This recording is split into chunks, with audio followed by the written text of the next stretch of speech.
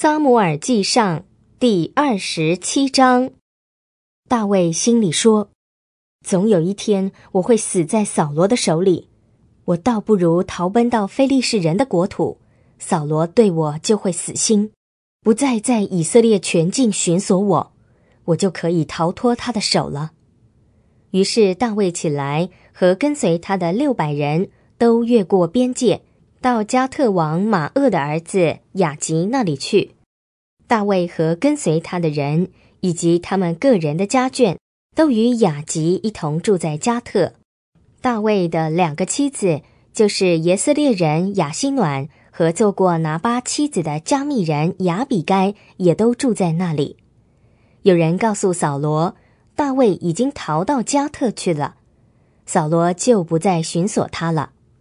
大卫对雅吉说：“我若是在你眼前蒙恩，求你在这地的城市中给我一个地方，让我住在那里。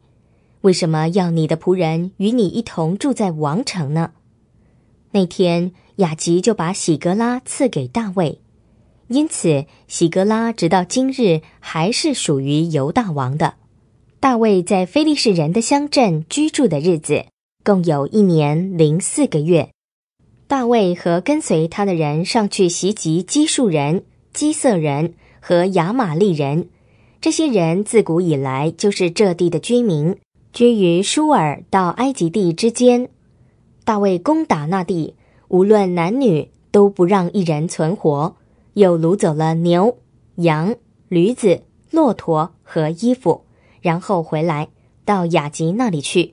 雅吉问：“你们今天袭击了什么地方呢？”大卫回答：“我们袭击了犹大的南方、耶拉灭的南部和基尼的南方。无论男女，大卫都不让一人活着带到加特来。他说：恐怕他们把我们的事告诉别人，说大卫做了这样的事。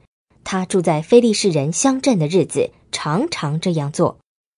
雅吉相信了大卫，心里说：他在自己的族人以色列中留下了臭名。”他必永远做我的仆人了。